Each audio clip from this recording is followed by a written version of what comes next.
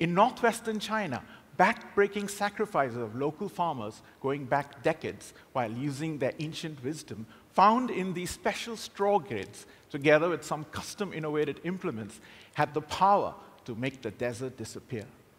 A local community fought a three generation battle to reforest the entire area denuded by the last hundred years of damage because of industrial development and created a green miracle.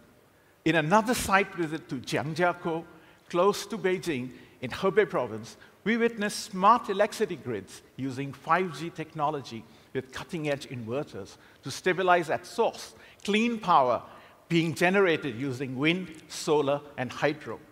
The goal is to supply zero carbon energy to the entire Beijing area by 2060 and to the entire country itself. The factory of the world was moving up the value chain with a slew of homegrown technologies that had the ability to put China onto a new sustainable path. Low end manufacturing driven growth was ebbing. Shenzhen's shanzhai economy was giving way to an AI led innovation and high end manufacturing and green manufacturing that now includes efficient batteries that power China's homegrown electric vehicles industry. Its unprecedented success has already made China into the largest automaker in the world.